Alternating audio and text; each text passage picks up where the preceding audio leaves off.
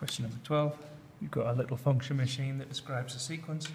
Um, you put a term in, of the sequence into this end, you divide it by 5, you add 1, and that tells you what the next term of the sequence is. If the first term of a sequence is 30, we have to use this rule to write down the second term.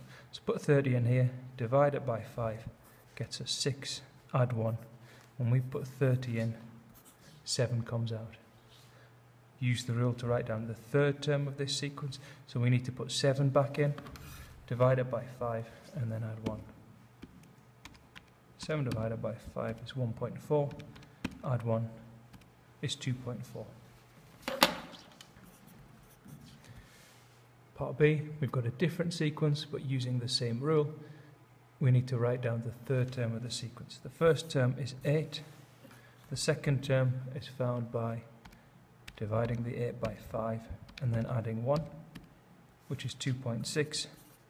To find the third term of the sequence, we need to put the second term in, 2.6 goes in, we divide it by 5, and then we add 1 to get an answer of 1.52.